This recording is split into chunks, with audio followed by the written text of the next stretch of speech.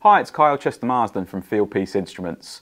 Today I would like to share some information with you regarding our JL3 LC JobLink large pipe temperature clamps.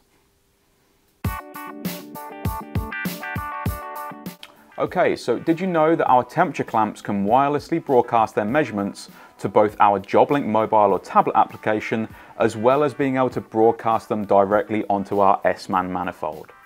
Now with our JobLink application, you can quickly and easily view those measurements of the system directly on your mobile or tablet device. Alternatively, you can connect the tools to your Fieldpiece S-Man manifold and see the suction line temperature and liquid line temperature in the middle column on the screen at all times. This means you can view those crucial superheat and subcooling measurements and ensure effective system cooling or heating, making your job easier, faster and better. So thanks for watching and stay tuned for more great videos.